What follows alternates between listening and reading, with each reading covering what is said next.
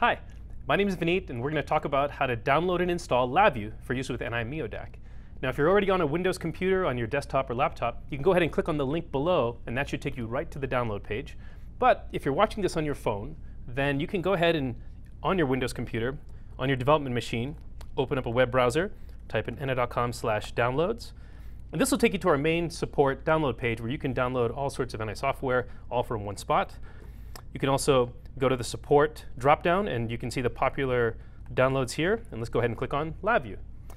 So this is the main LabVIEW download page where I'll have everything I need to download for the exact version and the exact uh, edition of LabVIEW that I'd like.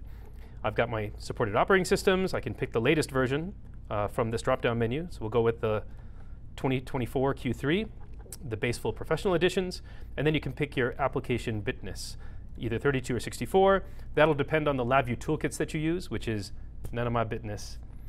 But the, mo the most important thing to remember is to include the driver software.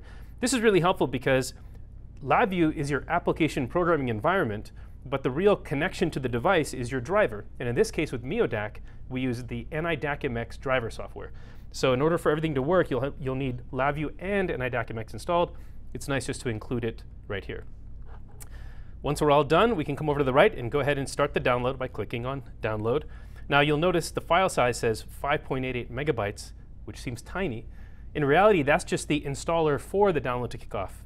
When you look at installing all of LabVIEW and DAQmx, you're going to end up with several gigabytes on your system, but this, this quick download is nice for starting off the whole process and, and downloading LabVIEW. It's going to ask you to put in your user account, so if you don't have one, you'll have to create that. Um, and I'm going to log in here to start the download. And now it should take me to the page where it starts downloading, downloading all of my selection, the LabVIEW 2024 Q3 edition and the NI-DAQmx driver softwares. Now it's, you can see up here, it's uh, downloaded right now. I'm going to go ahead and kick that off. It's going to ask me to use the NI package installer.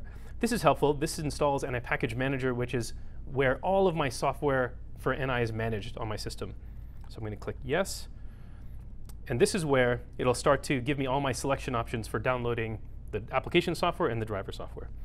You can see the program environment is checked for LabVIEW. I'm going to scroll down.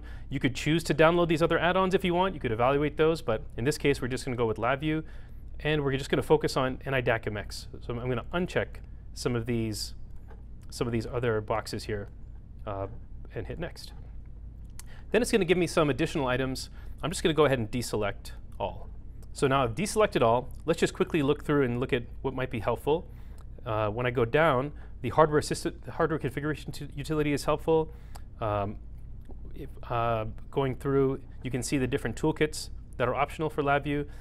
And now we get into things like the NI-DAQmx support, which might be good if I want to use uh, this product with other types of products, with other types of languages or, or programming environments.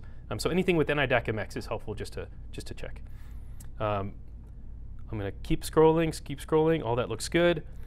Uh, and I'm going to go ahead and add the DAQmx cDAQ firmware. This is if I, if I eventually want to switch to other devices like CompactDAQ. It's kind of helpful to have that already installed. So now with that, I'm going to hit Next.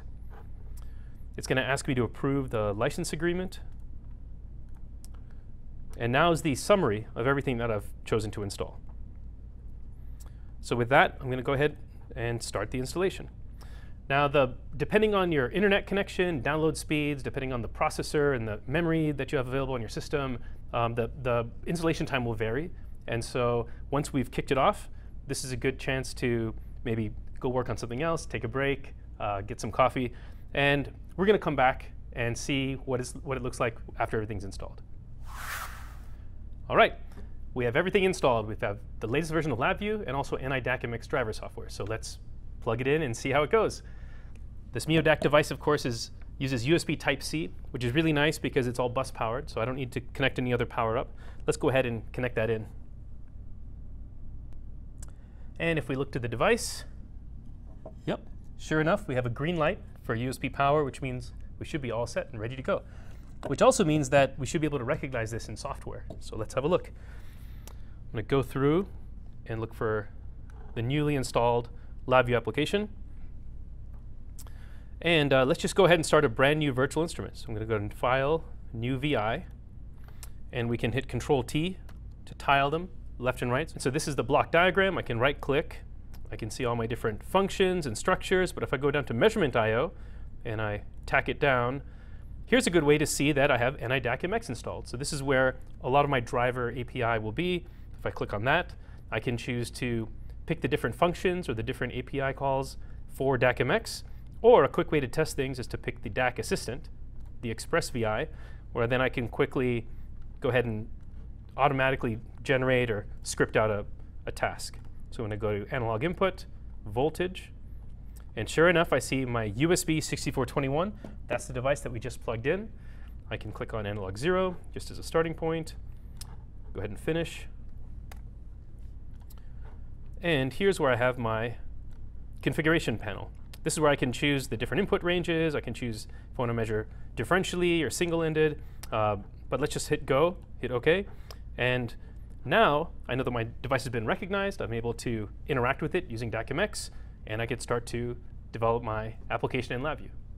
So that's the quick intro on how you download and install LabVIEW along with NI-DAQmx for use with NI mioDAQ.